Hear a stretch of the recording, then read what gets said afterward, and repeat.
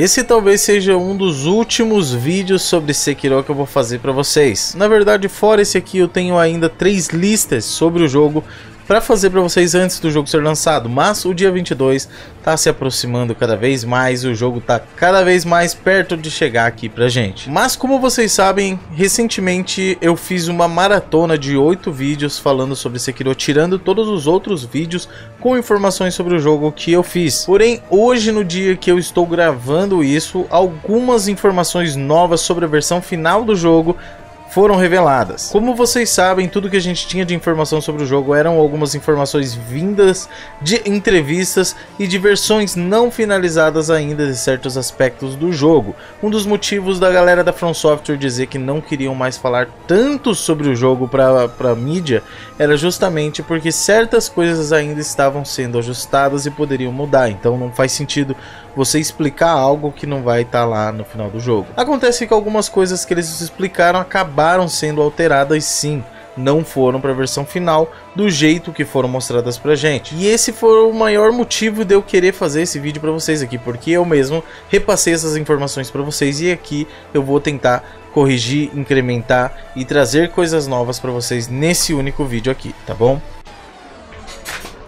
Ai, tudo bom? Gente, desculpa interromper o vídeo, mas está na hora de fazer os, os, os, os O nosso unboxing mensal da Nerd ao Cubo. Vamos ver o que, que vai ter aqui dentro, porque tem uma gama de possibilidades, mas, mas até maior do que a do mês passado, que era vilões. Para você que não sabe, tudo isso que eu tô vestindo aqui é da Nerd ao Cubo, veio nas caixas da Nerd ao Cubo. Até essa camiseta toda pimposa aqui. Bora lá abrir essa parada e ver o que tem dentro. Enquanto eu abro a minha caixa como um profissional, com a minha tesoura particular, eu vou dizendo para vocês que, como é que funciona a Nerd ao Cubo? Essas caixas vem todos os meses para você que assina. Então você assina e recebe ela todo mês com um, um tema mensal, tá ligado? Esse tema é sempre definido misteriosamente, assim como todos os itens que estão dentro dessa caixa. Ou seja, você nunca sabe o que vai ter dentro dela, mas você sempre sabe que tem ou uma HQ, um livro, alguma coisa do tipo, tem uma camiseta e vários outros itens variados de acordo com o tema da caixa. Vamos abrir porque eu tô ansioso. Essa é uma caixa, parece umas rochas, alguma coisa assim, não sei bem. Mas enfim, vamos ver o que, que tem aqui dentro. Ah, olha só, a caixa já é um Luffy. Poder. Então aqui, como sempre, vem a revisticha com vários conteúdos relacionados ao tema, né? Tema poder. Nossa, eu tinha esquecido completamente desse tema, gente. Olha eu! Eu tô aqui, porra! Olha aí! Tamo lá de novo, pô! É nóis! Bom, vou deixar aqui a revistinha e vamos pro próximo item. Que vai ser a camiseta, eu vou deixar aqui do lado, como sempre. É a última coisa que eu abro, então vai ficar aqui. Temos aqui eu pensei que eram bottoms, mas não é. Ó, é diferente. São adesivos, gente, com relevo. Eu gostei muito disso aqui, hein? Adesivo com relevo é o esquema. Um do One Piece e outro do Naruto! Bem legal mesmo. Vou decidir onde colar isso aqui. Isso aqui eu quero colar em algum lugar. Normalmente eu não colo as coisas, eu deixo guardado. Mas esse aqui eu tô afim de pôr em algum lugar. Onde é que eu posso pôr, será? No espelho lá? Não, não. Deixar aqui por enquanto. Mais alguma coisa? Vamos meter a mão aqui e tirar. que da hora, velho. Olha isso aqui. É um One Punch Man com a cara de Minecraft, amiga. Produto exclusivo da Nerd ao Cubo. O careca mais poderoso dos animes chegou numa versão exclusiva para você. É bom os seus outros bonecos não se meterem com ele, porque com um soco ele resolve tudo. Vamos abrir. que da hora, velho. Ele é tipo de borracha, sabe aquele plástico mole? Que isso, cara? Nossa, muito genial, velho. Capinha e tudo, pô. Aí, Saitama. Fica aqui, ó. Divirta-se com um mês de assinatura do Videoclub, no valor correspondente a R$19,90 para assistir qualquer conteúdo do Videoclub no Look, certo? Isso aqui quando vocês assistirem esse vídeo já vai ter sido sorteado numa live. Isso se eu lembrar de fazer isso. Mas provavelmente hoje à noite eu dei pra vocês numa live. Ah, é um mangá, velho. Fairy Tail. Saca só mangá do Fairy Tail Gaiden. Não sei qual é a diferença do Fairy Tail normal pro Gaiden. Eu vou abrir aqui. E agora eu tenho um mangá do Fairy Tail Gaiden. Vai pra cá. Tem mais coisa, gente. Caceta, deixa eu ver. Tem mais uma coisa só. Vamos pegar ela. Ah, parece ser um pôster. A caixa por dentro é isso aqui, só para mostrar melhor para vocês. Eu nunca tinha visto essa maneira de guardar pôster. Olha, gostei. Nossa, que da hora, velho. Então onde é que eu vou pôr? É a primeira coisa que eu já penso, velho. Porra, eu gostei muito. Saca só. Olha que bonito isso. Eu não sei exatamente onde eu vou pôr, mas imagino que seja tipo por aqui. Verdade, como é japonês, deve ser de pé. Ah, é assim, ó. Então a maneira certa de mostrar é assim, gente. Ó. Eu me liguei. Japonês se escreve de pé, né? Vertical. Mas ó, bonito demais, cara. Agora fala sério. Fala pra mim. Olha o tanto de coisa que tem isso aqui. Você vai me dizer que isso aqui não vale a pena. E lembrando, eu não abri a camiseta ainda. Vamos abrir ela agora. Não consigo ter ideia do que é, mas parece... Não sei o que parece. Parece um olho aqui. A estampa é... Não sei. Vocês estão vendo. Sabe o que a gente faz quando a gente não reconhece algo? A gente vem até a revistinha, procura aqui. Bom, é uma fênix. A mais de... Ah! Agora eu me liguei. É uma fênix, cara. Dos Cavaleiros Zodíaco. Saca só, é o símbolo que tem na caixa da armadura do Wiki de fênix no Cavaleiro Zodíaco. Que convenhamos é o cavaleiro mais badass que tem, né? Eu vou vestir ela. Fala pra mim que eu não fiquei uma delícia nessa camiseta. Ó meus músculos. Então tá aí, gente. Essa é a camiseta desse mês. Ficou bonita demais, cara. Curti, cara. Como eu disse já algumas vezes, só se tivesse só essa camiseta eu já ia ficar felizão, velho. Porque as camisetas são todas muito massa. Mas enfim, se você aí quiser receber todas essas coisas na sua casa... Olha o tanto de coisa que veio aqui, velho. Assina Nerd ao Cubo, tem um link aqui na descrição. Na, primeiro link da descrição. São R$ 79,90 mais o frete para sua cidade, tá? Não é caro.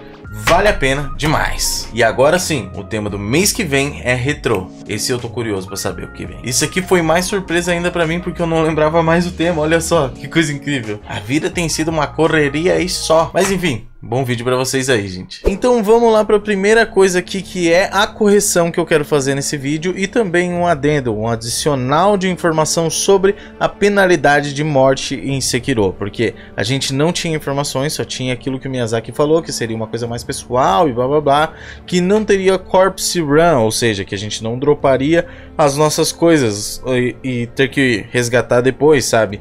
É, a gente ganha dinheiro, a gente ganha experiência e os itens, né? Eu acho que Acho que é isso. Que são coisas diferentes agora nos jogos da série Souls. Souls eram experiência e eram dinheiro também no jogo. Agora são coisas separadas. Então havia sido dito pra gente que a gente não derrubaria nada quando morresse, mas que a penalidade seria outra. Acontece que na versão final agora quem jogou conseguiu ver. Ah, esqueci de mencionar que quem jogou foram alguns youtubers seletos. Aqui no Brasil eu acho que só o BRKS Edu foi lá pro Japão para jogar. Talvez o Zangado tenha ido também não tenho certeza, porque eu, eu vou ser honesto e dizer que eu não tive tanto tempo para pesquisar sobre isso. Mas essa informação, então, enfim, tanto faz, né? Eu sei que o Lobos Jr. foi, o Vatividia foi, o Terra Mantis foi, eu acho que o Ouroboros também foi, o Epic Name Bro foi, é mais a galera, né, da gringa lá. Enfim, todos eles puderam jogar algumas horas do jogo, eu me baseei mais no Vatividia e no Lobos, que um jogou 5 horas do jogo, o outro jogou 6 horas do jogo, podendo mostrar apenas 20 minutos dessas 6 horas, tá? Tendo algumas coisas que pediram para eles não mostrarem ainda, mas eles falaram bastante sobre o que viram nessa, nesse trecho de gameplay do início do jogo. Enfim, os caras foram lá pro Japão na From Software para poder jogar, tá? Eu sei que tem algumas pessoas que já, já iam perguntar, mas a galera já recebeu o jogo? Não, eles foram até lá. Por enquanto ninguém recebeu o jogo ainda. Mas em breve isso vai mudar, a galera vai começar a receber, porque tem que ser recebido para fazer análise e tal. A galera tem que jogar antes do lançamento para ter o material pronto quando lançar. E é bem possível que eu esteja incluso nessa galera que vai ter o material pronto quando o jogo lançar para vocês. Então fiquem ligados aí. Voltando no que eu tava dizendo, a penalidade foi dita que você não ia perder nada, que mas que ia haver uma, uma penalidade. Só que agora na versão final acontece que essa galera que jogou acabou percebendo que quando você morre, você perde 50% da tua experiência ganha e 50% das moedas que você carrega. Não sei se essas moedas vão ser depositadas em algum lugar ou se você tem que gastar elas para evitar de perder, mas acredito que perder 50% de tudo que você tem seja uma penalidade tanto. Mas aí você me fala, Everton, mas 50% pelo menos não é os 100% que a gente perdia antes. Sim, com certeza é menos. Só que dessa vez não tem como recuperar. Perdeu, perdeu, acabou. A barra de experiência aparentemente não enche tão devagar quanto a gente pensa. Então ela vai enchendo e se você ganhar o ponto de habilidade para usar, esse ponto de habilidade você não perde. Você só perde a experiência se, estiver faltando um de XP para você ganhar o ponto de experiência e você morrer, você vai perder 50% daquela barra quase cheia. Então é uma penalidade assim meio pesada para um jogo onde parece que a gente vai morrer quase o tempo todo. Então era essa informação sobre a penalidade de morte que eu fiquei de trazer para vocês assim que soubesse e finalmente a gente sabe como que vai funcionar na versão final do jogo. Uma coisa que disseram que ia mudar porque não era a versão final ainda era a maneira que a gente ressuscitava, mas aparentemente não, a mesma coisa. A gente enche uma barrinha e pode ressuscitar até duas vezes. Eu não sei se isso é melhorável, mas é assim que está sendo mostrado até agora, tá? Nessas gameplays novas eu vou pôr um trecho aqui, então se você não quiser spoiler visual, não é nada demais, mas eles mostraram a região do templo dilapidado. Então eu vou mostrar para vocês aqui, eu faço questão de mostrar porque é muito bonito. Então, como eu disse, se você não quiser olhar, para de olhar o vídeo agora, continua ouvindo e eu aviso quando a imagem sumir daqui, tá bom? Eu sei que tem gente que não quer spoiler, beleza? Então vai lá, vira a cara. Esse mapa eu faço questão de pôr aqui porque ele me impressionou de tão bonito que ele tá. Essa galera eles estão jogando no PC, então os gráficos é, estão provavelmente no Ultra rodando no PC. E eu joguei o jogo, no PlayStation 4 lá na BGS. Foi quando eu vi ele pessoalmente na minha frente, que eu joguei ele. E eu vou dizer para vocês que se aquela versão do PS4 era a versão final, o que eu acho 99% de certeza que seja, essa versão do PC tá visualmente bem superior à versão do PS4. Tá, talvez eu esteja exagerando que seja bem superior, mas ela tá de fato mais bonita do que o que eu vi no PlayStation 4, tá? Isso não é novidade, tá? Desde o Dark Souls 2 a gente vê essa diferença entre PC e console. Agora pode voltar, você que não queria ver, tá? Eu já tirei a imagem. Outra coisa que envolve também uma penalidade de morte é quando você morre demais. Isso aqui talvez seja um spoiler um pouco mais pesado, mas não sei. Talvez eu acho, eu acho que se você está aqui procurando informação é porque você quer saber um pouco mais. Não tem nada a ver com a história, talvez, talvez tenha, mas eu sei tanto quanto vocês sobre se isso está envolvido com a história, tá ligado? Porque assim, eu já expliquei para vocês que provavelmente, que provavelmente não, é certeza que o Sekiro ele revive, né? Ele não morre graças ao sangue daquele moleque do, do príncipe lá, né? Esse príncipe, ele é chamado de Herdeiro do Dragão. Não sei qual é o motivo desse título, mas é assim que ele é chamado. Quando você morre demais, acontece uma coisa parecida com o que o Vatvidia estava imaginando. Você morre demais, uma doença se espalha cada vez mais pelo mundo. Alguns NPCs começam a ficar doentes. Essa doença é chamada de Dragon Rot, ou seja, apodrecimento do dragão. A única coisa que eu sei é que o Lobos mostrou um trecho onde o escultor estava tossindo e ofegante, porque ele tinha adquirido essa doença, em consequência do Lobos ter morrido bastante. Como é um jogo que faz a gente morrer o tempo todo e acredito que isso seja seja parte do jogo, que a gente morra muito, eu acredito que isso pode estar ligado à história de alguma forma. De certa forma, lembra um pouco das tendências dos mundos do do Demon Souls, né? Então aí já sabemos o que acontece quando a gente morre, quando a gente morre muito. Só falta saber quais são as consequências diretas na gente relacionadas a isso, tá? O Miyazaki diz muito que a história é contada da nossa maneira, que mesmo ela tendo o seu roteiro, a gente conta da nossa maneira. Talvez isso esteja completamente ligado a essa forma de contar a história nesse jogo. Também temos imagens, olha, mais imagem aqui, mas isso aqui é bobeirinha, gente. Eu acho que vocês não vão ligar de ver. Tem imagens do mapa e tem imagens do inventário que eu vou mostrar agora vira a cara se você não quer ver. Como vocês podem ver, tem os detalhes aí de, da disposição de cada coisa no, no, inventário, de como que funciona o lance de builds também, do nossa, da nossa tela de skills e do mapa também. O mapa não é muito detalhado, é só um mapa com locais onde a gente vai, mas enfim, tem a tela de warp aí, os menus, é bom saber como que é a cara do menu, né? É bom saber também que ele tá diferente do que sempre foi, porque Dark Souls, Demon Souls, não, Demon Souls é horrível. Fala sério, o menu do Demon Souls é horrível. Ah, já pode voltar a olhar, tá? Tô tentando cuidar, gente, para vocês não tomarem spoilers sem querer, porque eu sei que é bem incômodo levar spoiler. Enfim, é, é bom a gente ver como que tá a cara desse inventário, sei lá, se familiarizar um pouquinho mesmo antes de jogar, isso não custa nada, não é um spoiler grave, não atrapalha em nada você saber um pouco mais. Agora mais uma mecânica que eu gostei de ter visto lá, é relacionada à espionagem tipo, a gente, nós somos um ninja no jogo, né? Então, isso a gente é, é, esperado que a gente tenha algum tipo de função relacionada à espionagem, à stealth, ao, enfim, a coisas que ninjas fazem. Então, é, certos, certos pontos do mapa você vai ter NPCs para falar, gente que vai te dar dica de onde achar algum item, te dar dica de como derrotar tal inimigo, assim como você também tem como ouvir conversas e, enfim, monólogos de inimigos, de, enfim, de inimigos. É isso, não tem outra palavra. É chamado de eavesdrop, ou seja, é, cuidar da vida dos outros. É, é tipo isso. Você ouve o que o cara fala e, e com isso você pode descobrir maneiras de derrotar tais inimigos. Que é um bom exemplo. Isso aqui já não é novidade para ninguém. A gente tem aquele ogro, né?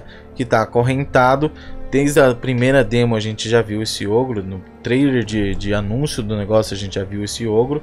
Enfim, quem jogou e quem acompanhou as informações sabe que quando você tenta bater normalmente naquele ogro, ele não sofre muito dano e a chance dele te matar é grande, porque ele tem um grab ataque muito forte que você não pode defender, é um pouco ruim de esquivar e tal. Mas se você usa aquele upgrade, o Flame Vent, ele Cara, ele se peida todo, é só bater que morre. Só que essa informação, ela não vem de graça como tá na demo. Você, tipo, não vai começar com o Flame Vent lá. Você tem que explorar, encontrar NPC, fazer quest para encontrar esse item, para receber esse item de alguém. Assim provavelmente vai ser pelo jogo todo. Você encontra as informações ouvindo inimigos, conversando com NPCs. Então eu achei legal que tem todo esse lance de investigação sobre o seu inimigo para você conseguir ter uma vantagem sobre ele. Isso é bem massa mesmo, é um elemento de exploração bem legal e por isso eu trouxe para falar para vocês aqui sobre ele. Agora esse pode ser um spoiler um pouco mais pesado, mas que eu sei que eu devo trazer aqui porque muitos de vocês estão curiosos sobre os três NPCs do templo. Dessa vez, os três foram revelados, os três foram mostrados. O escultor todos já conhecem, que aparece desde o primeiro trailer, todo mundo sabe como ele é. Mas temos a Emma e temos o Immortal Soldier. E você que não quer spoiler, olha para o lado agora. Esses são eles. Essa é a Emma, que é a mulher que te dá, que, que upa os teus estos flask, entre aspas. Parece que é a cantil de cura que ficou não sei se é cantil.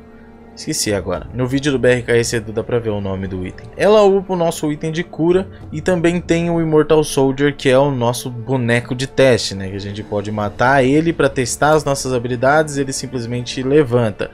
Aqui deu pra gente ter uma ideia de como funciona até diálogo deles e tal. Que eu não vou deixar aqui só para não pegar muito pesado no spoiler nessa informação. Só deixar a imagem aí para vocês, para vocês verem como eles são, tá bom? Então por último, não vou nem falar pra galera que não quer tomar spoiler é, voltar a olhar.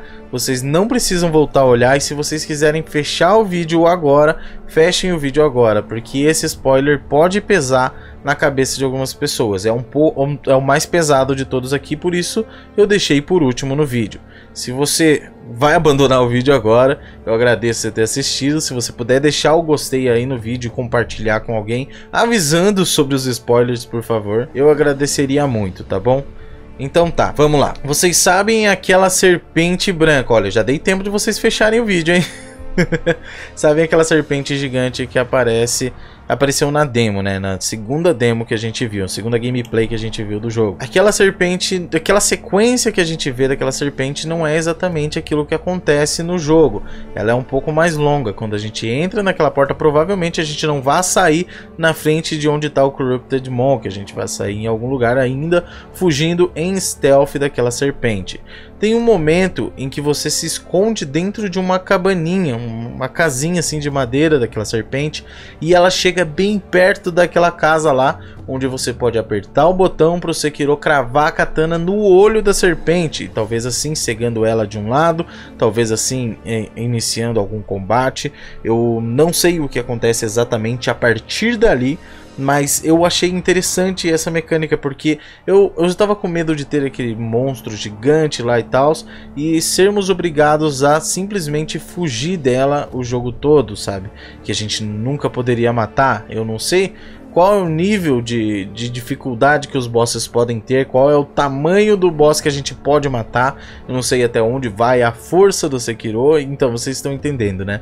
Mas eu achei essa cena bem interessante. É uma mecânica diferente e uma mecânica legal de se ver. E bom, eram essas as informações, gente, que eu, que eu separei aqui para vocês, coisa nova que eu vi para vocês e, enfim, adendos que eu precisava fazer eu espero que vocês tenham gostado desse vídeo, espero que tenha esclarecido um pouco mais as coisas para vocês.